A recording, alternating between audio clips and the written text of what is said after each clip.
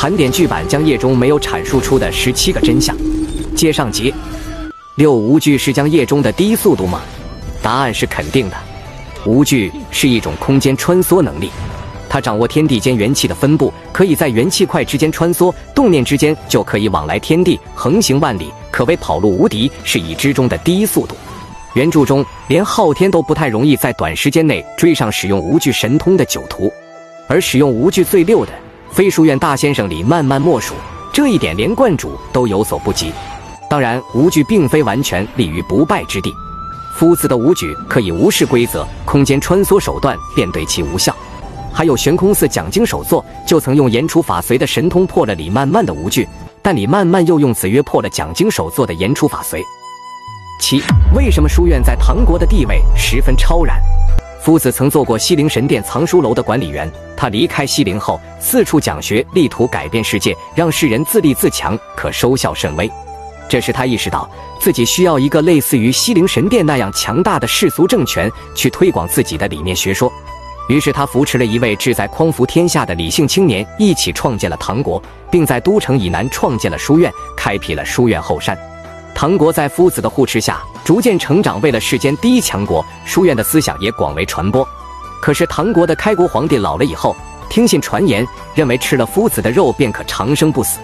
就在他要动手前夕，夫子率先进入皇宫，将他诛杀，随后指定了新的皇位继承人。为了避免重蹈覆辙，夫子规定以后所有继承人继位前都要先接受自己的教导。就这样，书院在大唐的地位就变得超然了。八，夫子的天赋如何？为什么只有他修成了武举境？按照夫子自己的介绍，他的修行天赋是比较普通的。夫子没有师门指导。三十多岁时才走上修行之路，而后的境界都是循序渐进、稳步上升的。其天赋不如十七窍气海雪山全通的柯浩然，念力第一的柳白，甚至不如观主李曼曼和君莫等人。夫子能修成史上独一无二的武举境，主要是命运使然。夫子是应运而生的人。所以他成为了几千年来极少数看过七卷天书的人之一，还有幸参悟天书修成武举，也最终应运登天化月，成为了传说。九，按照柯浩然的天赋，如果没有鲁莽行事，是否能够超越夫子呢？答案是并不能。柯浩然虽是江夜世界中唯一一个气海雪山十七窍全通的天才人物。但他修习的依然是昊天世界内的规则。昊天世界是一个封闭世界，所以昊天世界修行者的极限就是接近昊天的层次。昊天在人间也非夫子的对手。夫子的武举是应运而生的，是带着使命来到这个世上的。武举的使命就是化月。夫子之前没有修成武举境的，夫子之后更不可能再有，因为世间只需要一个月亮。实战天时的柳白真的是人间第一吗？答案是肯定的。当时观主被宁缺打废，实力尚未恢复，整个人间毫无疑问就是柳白最强。原著中描述，君莫是这样认为的，于连是这么认为的，叶青是这样认为的，柳白自己也是这么认为的，甚至就连昊天都是这样认为的。我说，疯子。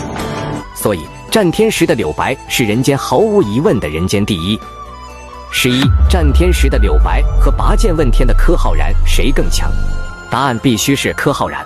原著中，人间昊天消灭了柳白后，认为给他足够长的岁月，也许他真的可以变得像柯疯子一样强大。昊天也疑惑，柳白为何不继续等待数百年时间，到他最强的那一刻再来挑战自己？可见，昊天的判断是战天时的柳白跟柯浩然的实力还差了几百年，而实际战力表现，柯浩然是稳稳的第七境级以上，而柳白最强一刻也只是摸到了第七境门槛。